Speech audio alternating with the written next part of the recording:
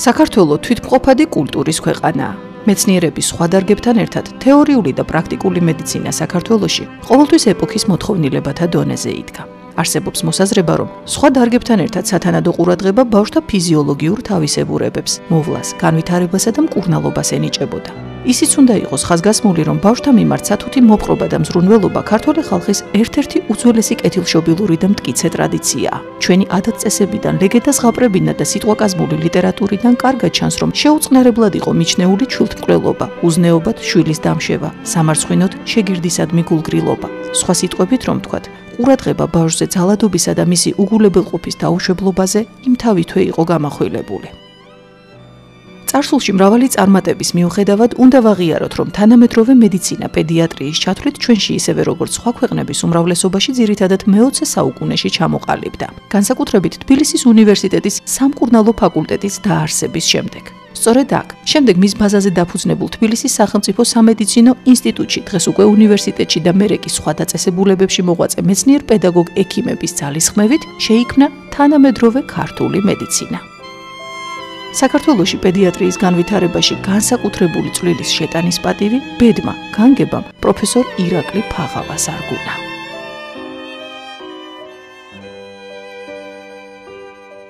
მედიცინის მეცნიერებათა დოქტორი პროფესორი ირაკლი ფაღავა იყო თბილისის სახელმწიფო სამედიცინო უნივერსიტეტის სამკურნალო ფაკულტეტის პედიატრიის კათედრის გამგე თითქმის 3 ათეული წლის მანძილზე.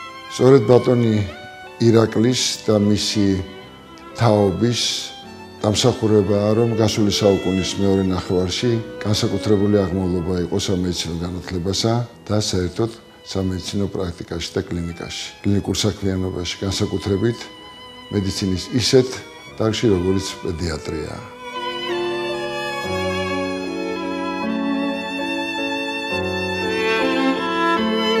მახსენდება მე დიდი ილიას სიტყვები, რომელიც უძღვნა მან გაბრიელ ეპისკოპოსის ხსოვნას. სათქმელი ზღვა, მაგრამ არ ვიცი საიდან დაიწყო, რამე თუ ყოველმხრივ დიდებული ადამიანი, დიდებული იყო. აი ბატონი ირაკლი ზუსტად ეს სიტყვები მიესადაგება.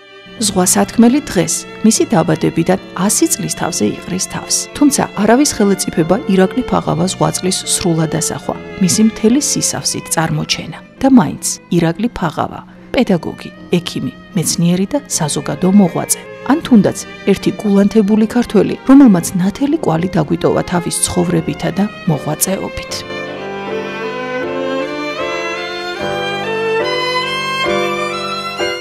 მეტნაკლებად წარმატებული კაცი იყო. თავის თავის რეალიზაცია მოახდინა როგორც პედაგოგმა, როგორც ექიმმა, როგორც მეცნიერმა, საზოგადო მოღვაწემ, ორგანიზატორმა და ასეთ შემთხვევაში ყოველთვის გაინტერესებს რა დაედო ამას საფუძვლად.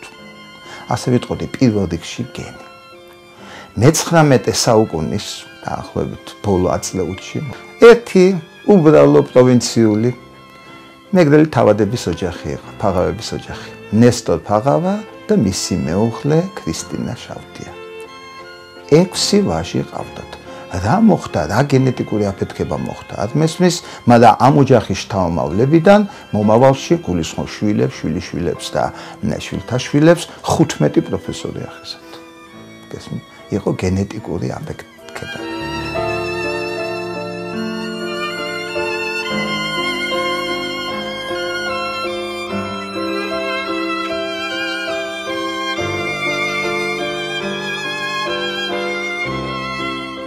ათ ჩხეიძეებიდან იყო ნაკლები გენი დედა ყავდა ჩხეიძე ელენე ჩხეიძე რომ საკმარისი აღინიშნოს რომ ქართლელი ჩხეიძეებში ერთ-ერთი ცნობილი პიროვნება და სწორედ ამ შტოს ეკუთვნოდნენ ესენი გახდათ სეხნია ჩხეიძე ისტორიკოსი პოლიტიკური და სამხედრო მოღვაწე.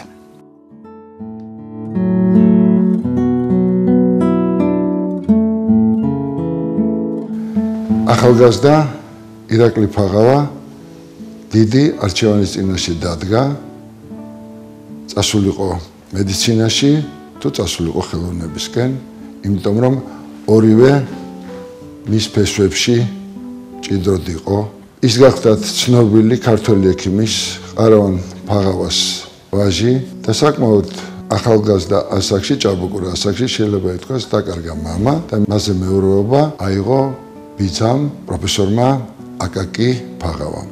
ეს ის აკაკი ფაღავა, რომელიც ითვლება ქართული თეატრის ერთ-ერთ და უპირველეს დამფუძნებლად, უმაღლესი თეატრალური განათლების მესაძირკვლად, მისი დაარსებულია პირველი თეატრალური სტუდია საქართველოში, სხვათა შორის პირველი საოპერო კლასი კონსერვატორიაში და მანამდე ის მოღვაწეობდა მოსკოვში როგორც რეჟისორი და მონაწილეობა აქვს მონაწილეობა აქვს მიღებული როგორც რეჟისორს მოლიერის პიესების დადგმაში სტანისლავსკისთან და ნემილოვიჩ დანჩენკოსთან ერთად.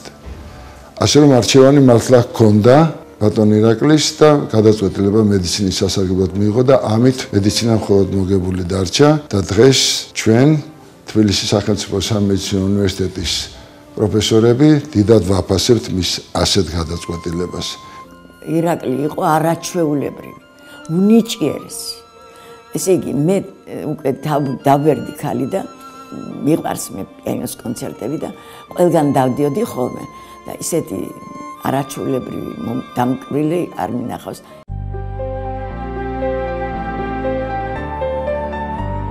ტრადიციული ოჯახის შვილმა თავადაც ტრადიციული ოჯახი შექმნა და ცხოვრება იმ ადამიანის გვერდით გაატარა, რომლის გარეშეც ძნელი სათქმელია, მიაღწევდა თუ არა იმას, რასაც მიაღწია.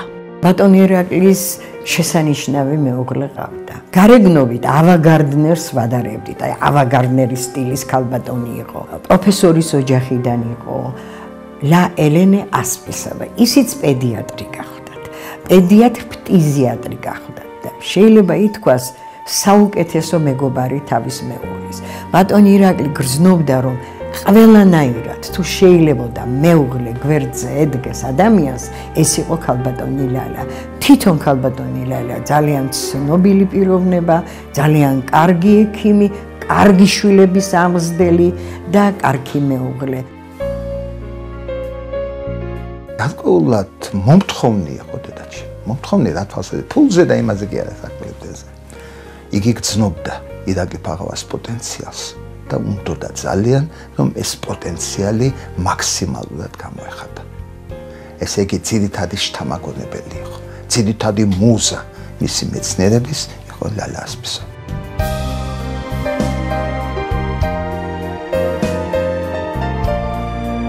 ირაკლი ფაღავა მრავალწახნაგოვანი პიროვნება გახდა მაგრამ რომ ვუკვირდები პირველ რიგში მასწავლებელი იყო მოძღვარი პედაგოგი. ერთი შესანიშნავი მაგალითი. ერთხანობას ერთდროულად მუშაობდა. იყო პედიატრიის ინსტიტუტის დირექტორიც და სამედიცინო ინსტიტუტის ბავშვთა სნეულებათა კათედრის გამგე. უთხეს აირჩიო ან ერთი ან მეორეო. მირაკლი ფაგამამ თქვა არავითარ შემთხვევაში.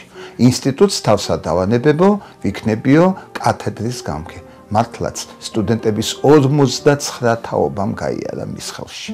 იყო ნამდვილად დაამთავრა კიდევაც ეს ინსტიტუტი და იყო თავისი ალმა მატერის ერთგული შვილი და მე დამსახურებული პროფესორი.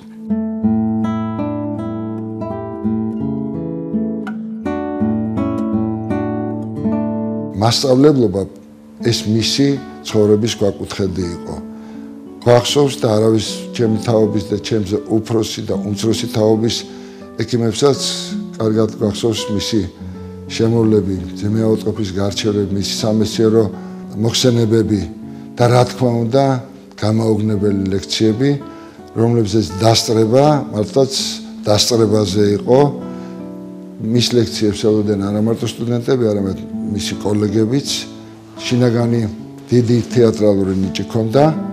ბატონ ირაკლის აა როგორც აღნიშნეთ ძალიან დიდი მომხიბლაობა ასე რომ მისი ლექციები ალბათ ამ დროის ამ გადასახედიდან შეიძლება ითქვას ერთ-ერთი საუკეთესო იყო და რჩება დღესაც თბილისის სახელმწიფო სამედიცინო უნივერსიტეტში. ჩვენი პედაგოგები იყვნენ სახელგანთქმული და აკადემიური რაც მეტად რაფინირებული პიროვნებები გვასწავლინენ ჩვენ. ამათ შორის თავისი ახალგაზრდობით იყო გამორჩეული იმ პერიოდისათვის, 60-იანი წლებისათვის ბატონი ირაკლი ფაღავა, რომელიც ძალიან შთამბეჭდავი იყო. ბატონირაკლი იყო დაჯილდოებული ორატორული ნიჭით, იყო წინვალე პედაგოგი, წინვალე პედაგოგი. ამასთანავე ყოველთვის ახალგაზრდების გვერდით მდგომი და მხარში ამომდგომი. ბატონ ირაკლის ლექსიის აზრი სამოგითხო არ ჭირდებოდა. ისე იყო დარბაზის სავსე. და ლექციები იყო ძალიან შთამბეჭდავი. ღრმა და საინტერესო წარმართული თვალსაჩინოებებით მას მოყავდა მაგალითები თავისი პრაქტიკიდან, რომელთაც ძალიან მდიდარი იყო ის და მისი ტრადიციულად მისი კლინიკა.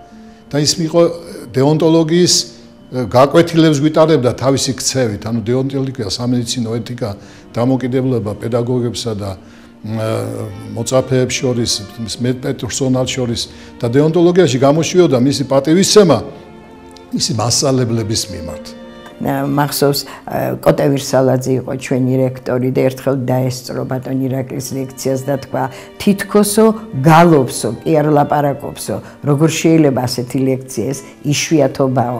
იმიტომ რომ ის მეტყველება აზრის მიერ მეტყველება იყო და მისი მეტყველების კულტურა აჯადოებდა სულ ყოველას ნებისმიერ აუდიტორიას საგულისხმოა რომ ირაკლი ფაღავას ლექციები მის არაჩვეულებრივ ორატორულ ტალანტსა და საინტერესო თემატიკასთან ერთად ლექტორის ხედვებით საკითხის სრულიად ახლებური გააზრებით იპყრობდა მსმენელს. მის სალექციო მასალაში მრავლად მოიძებნება თემები რომელთა შესახებ საუბარიც ცნობილმა ექიმმა და პედაგოგმა პირველმა დაიწყო არამხოლოდ საქართველოს არამედ ხშირად საკავშირო და თქვენ წარმოიდგინეთ მსოფლიო მასშტაბითაც კი ნუ მოგეხსენებათ 21 საუკუნე ალერგიული პათოლოგიის საუკუნეა, მაგრამ ბატონმა ირაკლიმ უფრო ადრე დაიწყო ამაზე ფიქრი. მინდა გითხრათ, რომ 70-იან წლებში გაი პროფესორ გურამ გურგენიძის ხელმძღვანელობით ჩამოყალიბდა ალერგოლოგიის კათედრა.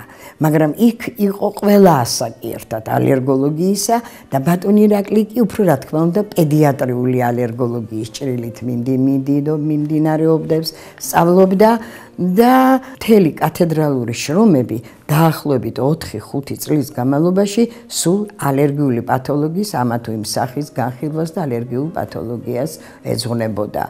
დაახლოებით 40-50 შრომა არის მიძღვნილი ალერგიული პათოლოგიისათვის. ახალი თემატიკა შექონდა ლექციებში, მაგალითად გენეტიკა აკრძალული იყო.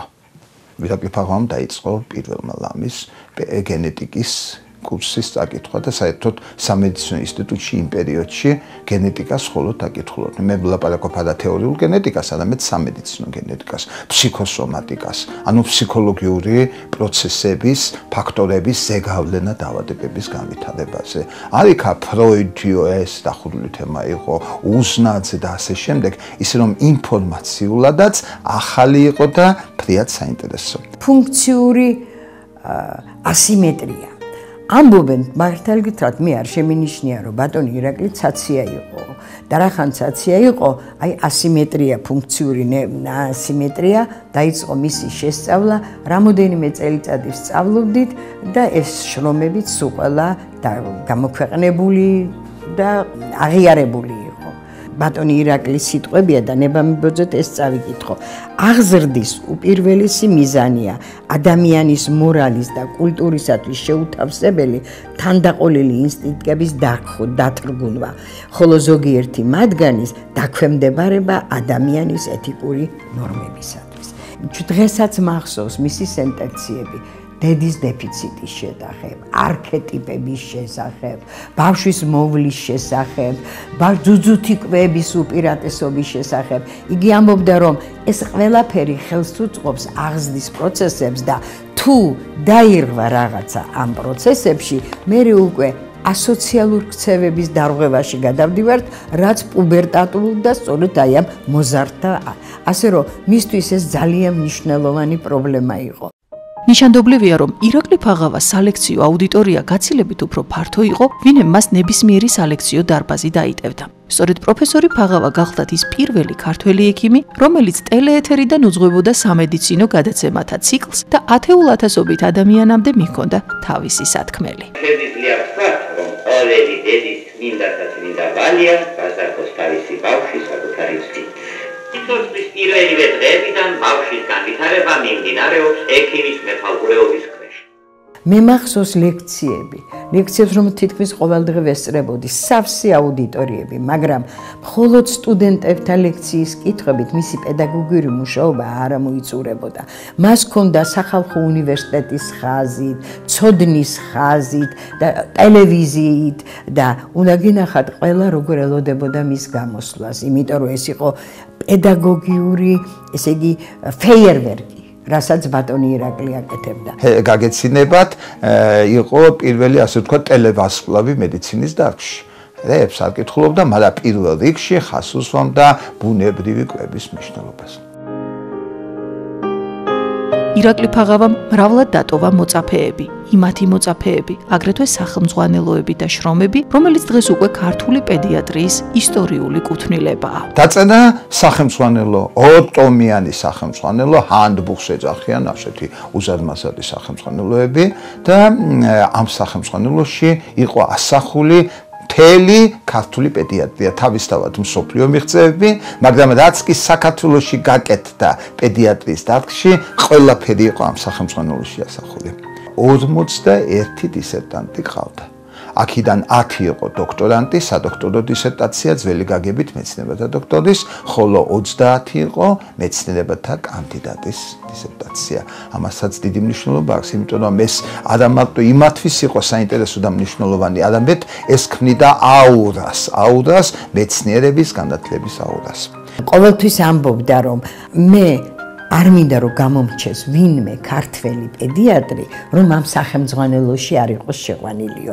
ესე იგი თანაავტორად კი არ ყავდა, მაგრამ ყველა პედიატრს ვის რა ქონდა გაკეთებული ამ სახელმძღვანელოში ჩადებული ქონდა ბატონი ირაკლის. განსაკუთრებით უყვარდა სტუდენტები, მათზე არანაკლებ კოლეგები, კათედრის თანამშრომლები.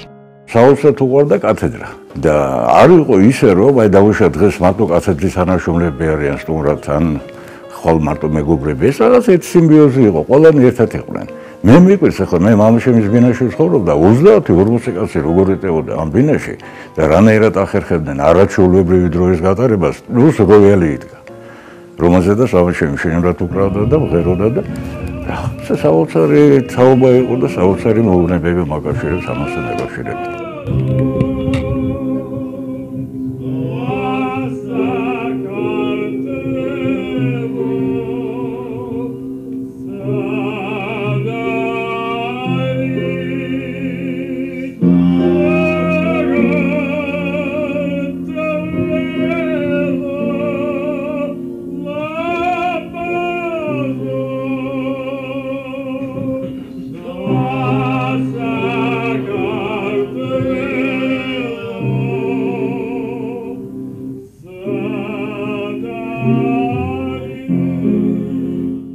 ის ლოიალური იყო ძალიან. და მისი ლოიალობის უმაღლესი გამოხატულება ის იყო რომ გამოსტელზე როცა შევდეთ ციგნები გადაშლილი იდო მოსაფიქრებელად ჩვენ შეგვეძლო ესე იგი ბილეთის აღების შემდეგ გარკვეული პერიოდი ციგნები გვეთვალიერებინა და გაგვეხსენებინა ამითი ის მასალაც რომელიც ბილეთში ქონდა მოცემული.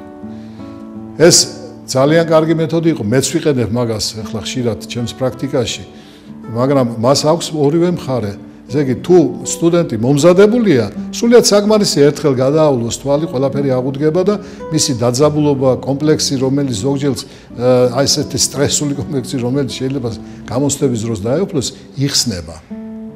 მაგრამ თუ არ არის მომზადებული, თუ არ იცის, თუ არ გაუვლია საკმაო სიღრმით და საერთოდ თუ არ წაუკითხავს ის ის იმ 15-20 წუთში და 9 საათში ვერაფერს ვერ ისწავლის.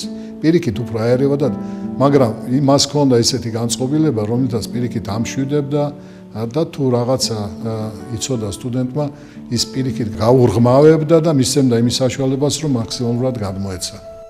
მეცნიერებასა და პედაგოგიკაში სიახლეების მოყვარული არანაკლებ ნოვატორი იყო კლინიკურ მოღვაწეობაშიც. ექიმი ირაკლი ფაღავა ხშირად აქაც პირველი გახლდათ.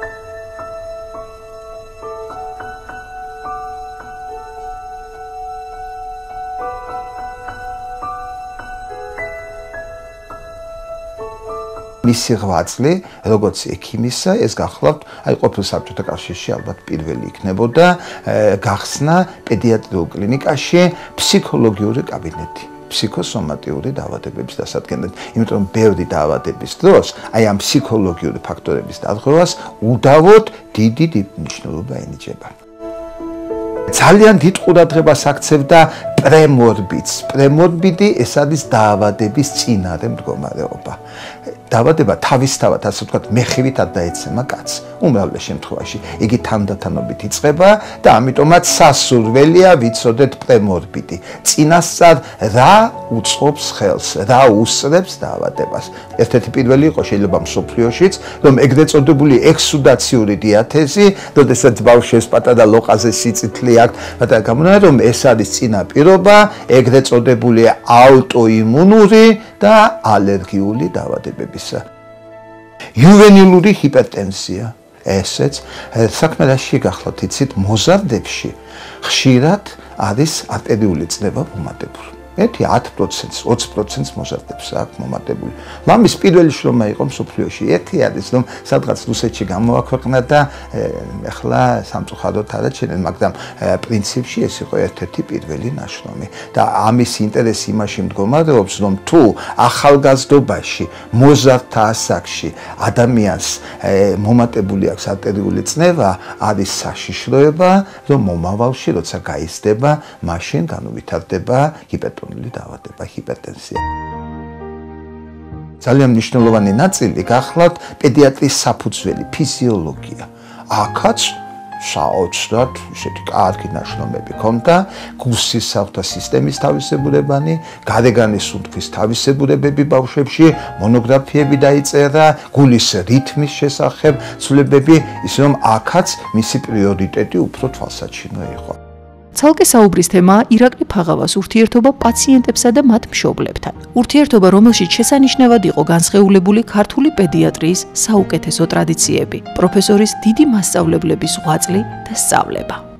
აბა მაჩენე ენა მაჩენე ენა თუ გახსდე და ლა კაი გოგო ხარ აბა გამოყავი გამოყავი ენა გენეცელი კიდო აბა გზელი ენა თუ გაქვს მაჩენე აბა ვნახოთ ერთი დაი ჩაი ჩიტი ჩიტი ჩიტი ირაკლი ფაღავა გახდათ წლების განმავლობაში პედიატრიის აღიარებული ლიდერი და იგი გახდათ პედიატრიის ფუძემდებლების გოგიტიძეს და მარიამ უგრელიძის ტრადიციების გამგრძელებელი. ის იყო ექიმი, რომელიც გამრჩეული იყო ყველასგან თავისი უნარით და დაემყარებინა საოცარი კონტაქტი ბავშვებთან, მათ მშობლებთან, ბებიებთან, დაბაბოებთან. ის იყო განუმეორებელი ინტელექტის, მუდამ განახლებადი ცოდნის ინტელექტუალი, რომელზეც დიდი მოთხოვნა იყო ქართულ საზოგადოებაში. ნახევარი საათი შეიძლება ესაუბრა პაციენტის დედასთან, მამასთან. იგი ამბობდა, რომ მარტო ფონენდოსკოპით კი არა, ჩვენ უნდა გავიგოთ რა გარემოში ეს ბავში მიზეზი ამანტყოფობისა. ჩემ შვილიშვილი რო გააშინჯანდა და თავზე ხელს მოავლებდა ბევრჯერ ოთქამრო ოთქამრო ეს დიდი კაცი რა მოავდა რავი აბა დიდი კაცი ჯერ მაიორია და ვნახოთ მე თუ პატა იმასაც ეთყობდა ხოლმე რომ პაპა დემგზავს და мама დემგზავს სხვა მრავალი პაციენტის მსგავსად შვილიშვილის მკურნალ ექიმთან ურთიერთობა რაიკო პაპასთვის სულ მალე გადაიზარდა მეგობრობაში. არ ორი წლისა იყო თუ? ტელევიზორში რაიქთან დაუნახანა ბატონი ირაკლი რო გარდაიცვალა. ხო და მირბის და თავი ბაბას ეუბნება ჩემი ექიმიო დაიღუპა ბაბო და მეო რა ვქნაო ჩემი ექიმი ვეღარ იქნება აი ამას სიმართლე რომ მამას შეჭრო რა იქნება აი ბავშვმა პატარა ბავშვმა ამდენი როგორ ამდენი როგორ განიცადა რა ვიცი.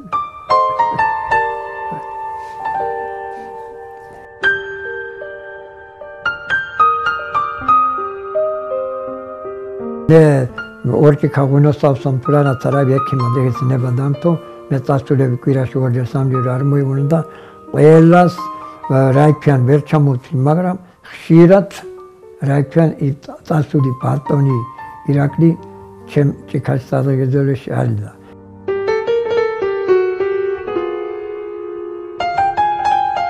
ჯერ კიდევ მაშინ როდესაც იგი აქტიურად მუშაობდა, იყო გვარი, რომლის წარმომადგენლებიდანაც არასოდეს ფულს არ იღებდა. სახში ეს იყო მაზნიაშვილი. თქვენ იცით გენერალი მაზნიაშვილზე ეხლა ყველა მიცის. ვიცი რომ ძეგლიც დაიდგა მისი, ხო? და აი მაშინ 40 წლის წინ, 30 წლის წინ იგი ამ გვარიდან ის იქნებოდა სტუდენტი, ხელს შეუწყობდა რა, ეს იქნებოდა ექიმი, ხელს შეუწყობდა რომ კარგი ყოფილიყო და თუ ეს პაციენტი იყო მაზნიაშვილის გვარის პაციენტიდან არასოდეს იმ ოფიციალურ მიღებაზე იგი არასოდეს ფულს არ იღებდა. დიდის სიყვარულით, დიდის ესეთი დობით ბავშვი როგორი ეცი თქვენთან მოვა, ჩვენთან არ მოვა და ისე ისე მიუდგებოდა ბავშვს რომ ის ვარგზნობდა რომ ეს ექიმებისა ბავშვი ბავშვი ძალიან გვეშინოდა და ეშინოდა ბავშვობის დროს მაგრამ ისე ოსტატურად მივიდოდა ისე ენდობოდა რომ ის უამბობდა კიდევ თუმცა პატარა ბავშვი უამბობდა რა აწუხებდა და და სხვა. ესეც ესეც მისი დიდი ხელონ ხელონება იყო სამეცნიერო დარგში. იწებდა ის ბავშვის ბიოგრაფიით. თვითონ ათქმევიებდა ბიოგრაფიას ბავშვს. ისე კი არა რომ დედაყვება. ან როგორ დაიბადა რაღაც იმას როგორ გონია როგორ დაიბადა. აი ამასაც კი და შემდეგ როგორ აჭმევენ როგორ ასვამენ როგორ ათამაშებენ როგორ და ამით ის დასკვნებს აკეთებდა სულით ხორცამდე ქართველი პატრიოტი. სამშობლოზე უზომოდ შეყვარებული ექიმი აქტიურად იყო ჩართული საზოგადოებრივ ცხოვრებაში. მაშინაც კი როცა ამაზე საუბარი ბევრისთვის კარიერული წინსვლის ბარიერად მოიაზრებოდა ირაკლი ფაღავა მოწინავე ხაზზე იდგა ყოველთვის როცა საკითხი ქვეყნის ბედს ქართულ საქმეს შეეხებოდა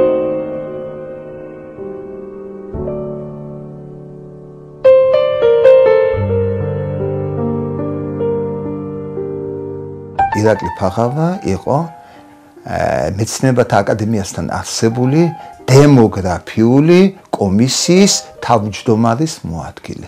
და ეს არ იყო მხოლოდ სინეკურა. იგი მართლა იღწოდა მიმართულებით და უამრავი პუბლიკაცია ჰქონდა ამის თაობაზე. ერთი შვილი ადაშვილი, ორი შვილი ვითომშვილი, სამი შვილი და არიქა შვილები, შვილები დემოგრაფია. ეს პრობლემა მაშინაც იყო აქტუალური და ეხლაც. და მეორე ამბავი. მეორე ამბავი კიდევ უფრო საინტერესო.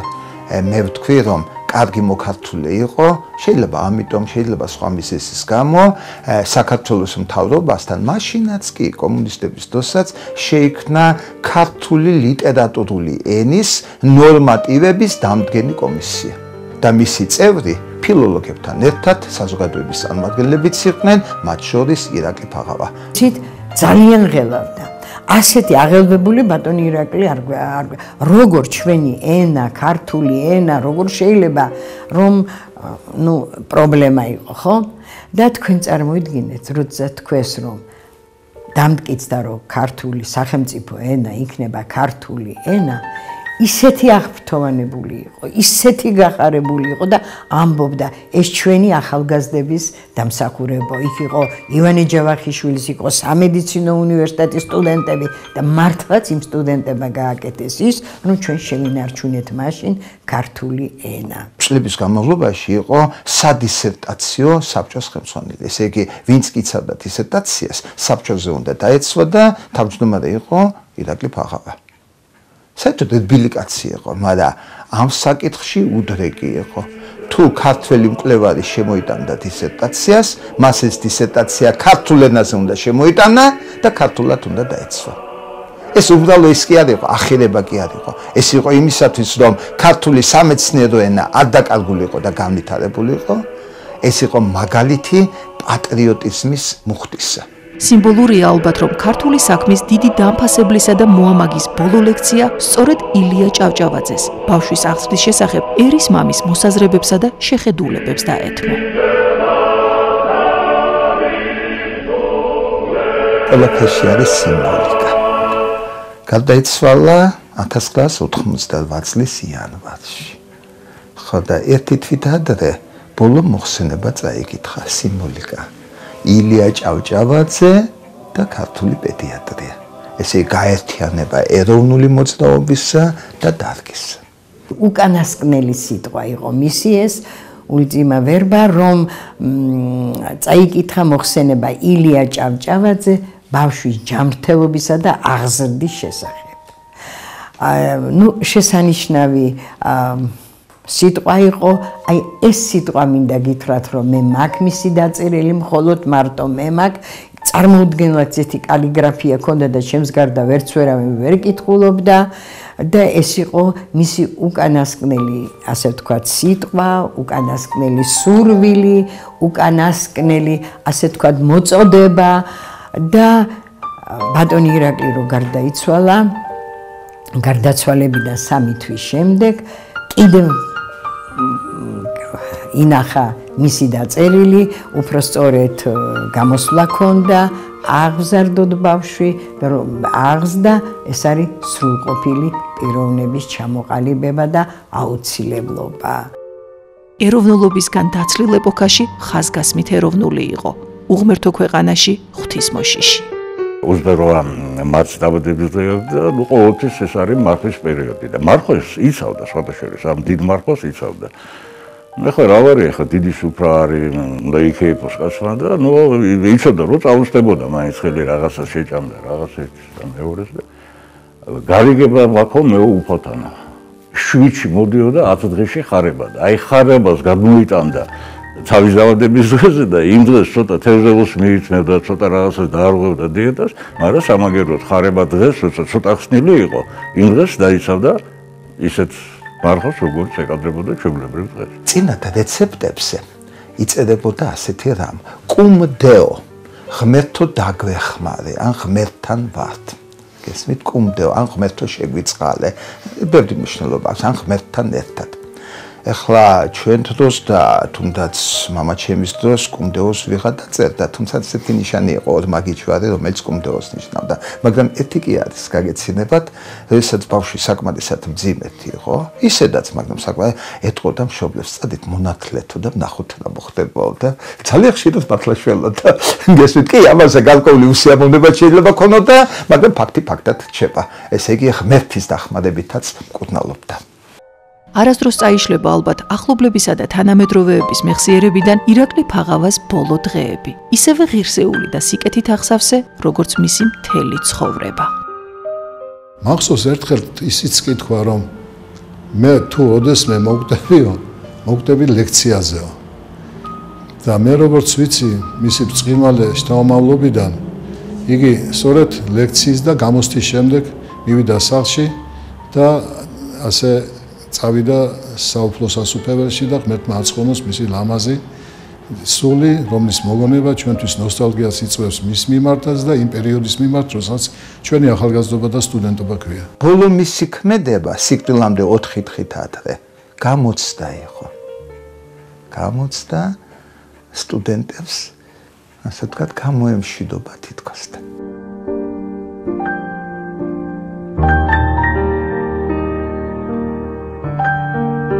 და ბოლო დღე კლინიკაში გამოცდა როგორც ყოველთვის. მაგრამ ძალიან ბევრ ფრიაც წერდა იმდენად ცუდად იყო რომ ჩვენ ყოველას გვეშინოდა. რომ ვატყობდით რომ ძალიან ცუდად იყო სულ ხუთები დაწერა. ძალიან ბევრი ხუთიანი დაწერა. გახარებული გამოვიდა აუდიტორიდან ახვა კიბით მეორე სართულზე და მისი კაბინეტი იყო. არ გაუხდია ხალათი იდგა და სანამ ბოლო სტუდენტი არ გავიდა მანამდე კაბინეტში არ შევიდა ჩვენ გვინდოდა რომ გაგვეცილებინა სახლამდე, მაგრამ ამის უფლება არ მოგცა თვითონ და ისეთი ძალიან ისეთი ყოჩალი ნაბიჯებით გაუდგა გზას. ეს იყო მისი ბოლო, ასე ვთქვათ, კლინიკაში ყოფნა.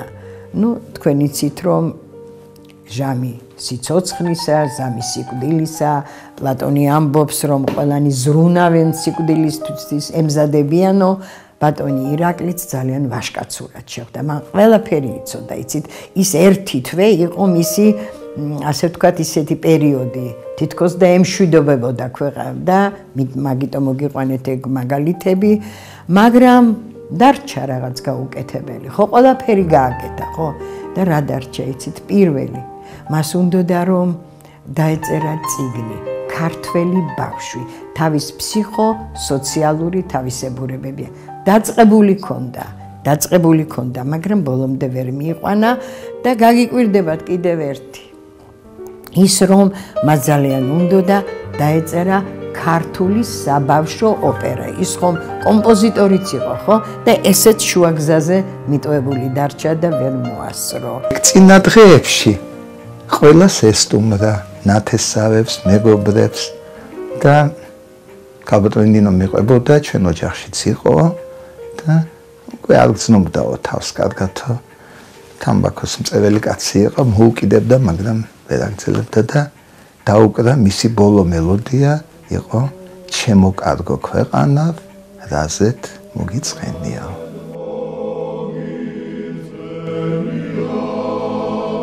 გადის დრო წლების ნისლი თანდათან აბუნდოვნებს ირაკლი ფაღავას პიროვნულ ხიბლს აურას მისი სამეცნიერო კვლევის ზოგიერთი შედეგი, რომელიც პედიატრიის ოქროს ფონდში აღინუსხა, დიდხანს იქნება აქტუალური და ანგარიშგასაწევი. მაგრამ რაც მთავარია, ქართველი ერი იარსებებს. ყოველი ახალი თაობა თავის სიტყვა-სიტყვის სამშობლოს საკეთილდღეოდ და საამაყოდ. და მაშას ადამე ყოველთვის იარსებებს და განვითარდება ქართული პედიატრია, რომლის საძირკველში ზორბა აგური აქვს დატანებული ექიმს, საზოგადო მოღვაწეს, მამულიშვილს, ირაკლი ფაღავას.